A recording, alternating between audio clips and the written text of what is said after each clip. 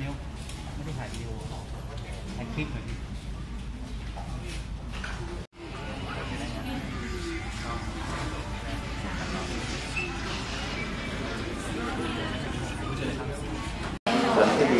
เอ่อผมถือวิดีโอนะครับท่านท่านคุยกันได้ครับตอนนี้ไม่ใช่ภาพนิ่งกันนะครับ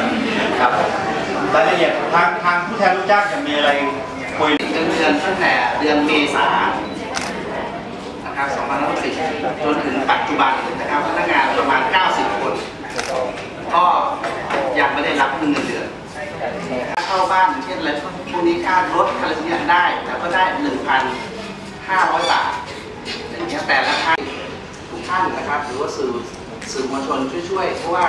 พวกผมก็ต้องมีค่าใช้จ่ายนะครับมีต้องเลี้ยงดูกาลีต้องเลี้ยงดูลูกนะครับค่าเช่าบ้านค่าน้ำค่าไฟ